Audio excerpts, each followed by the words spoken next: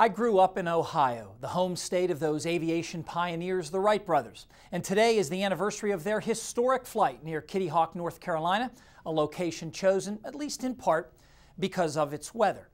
Indeed, both states lay claim to the Wright brothers, North Carolina license plates boasting first in flight, while the Buckeye state advertises on its license plate as the birthplace of aviation. The mechanically oriented Wright brothers grew up in Dayton, where they owned a bicycle shop. But they'd always been interested in flying machines, and they spent their spare time tinkering with different types of wings and designing gliders to test their ideas about flight. By 1900, they were looking for a place to try some serious gliding experiments, so they consulted with an aviation pioneer of the time, Octave Chanute, who advised them to choose an open location with steady winds and a safe, sandy landing surface. The Wright brothers wrote to the U.S. Weather Bureau looking for data to help them find a site, and one of the offices they contacted was at Kitty Hawk, about 50 miles north of Cape Hatteras on the Outer Banks, where weather data had been collected since 1875. The only employee there, a Mr. J. J. Dosher, wrote back in the summer of 1900 with good news.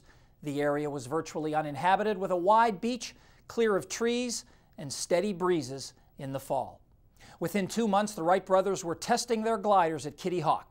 After two more visits there in 1901 and 1902 and other experiments in a homemade wind tunnel, they were ready for the next step. In late 1903, they returned to the Outer Banks and assembled their new 700 pound engine powered Wright Flyer.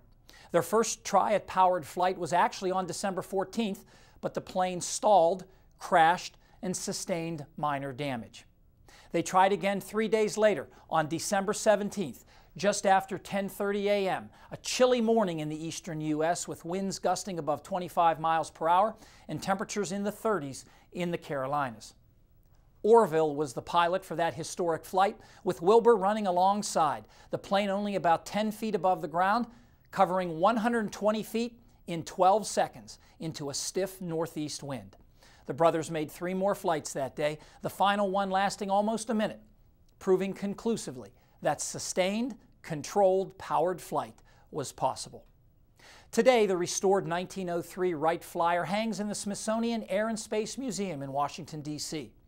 Many of the Wrights' other artifacts, including their collection of airfoils, were donated to the Franklin Institute in Philadelphia, the first scientific organization to credit the brothers for achieving sustained powered flight. In fact, Orville Wright and Amelia Earhart were on hand for the grand opening of the Institute's Aviation Hall in 1933. Fred will be back with the extended forecast next.